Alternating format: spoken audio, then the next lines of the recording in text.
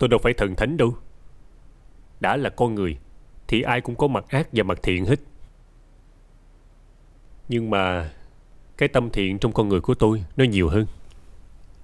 Nó biết suy nghĩ cái gì nên làm Không nên làm Để biết kiềm chế bản thân mình. Chỉ trong một đêm Mà Khoa Đầu Bạc, Hương Hà Và hai tên đàn em ó đen Cùng lúc tự sát Bằng chất độc trong phòng giam. Chắc chắn là có một thế lực rất lớn đứng phía sau Buộc họ phải chết. Nhưng vấn đề là Thuốc độc đó ở đâu ra? Hương Nga và Khoa Đầu Bạc Không thể nào đem theo bên người từ trước được. Tại vì khi chúng bị bắt Người của chúng ta đã kiểm tra rất là kỹ. Vậy ý của anh trong hàng ngũ chúng ta Có kẻ đã tiếp tay cho bọn chúng hả? Đúng. Nếu không có người trong hàng ngũ của chúng ta tiếp tay Thì bọn chúng không thể nào có những gói thuốc độc để tự sát được. Vậy theo cậu Những kẻ tiếp tay đó là ai Cậu có biết không? Bây giờ anh đã có tất cả rồi.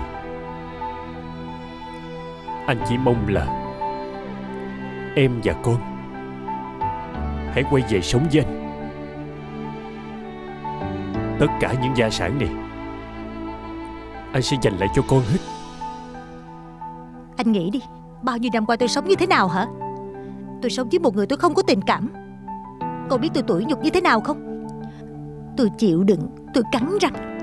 Tôi vẫn cười. Tôi nén lại nỗi đau để tôi nuôi con tôi. Tôi nuôi nó nên người. Bây giờ anh đem cái tài sản này. Anh dụ dỗ tôi đó hả?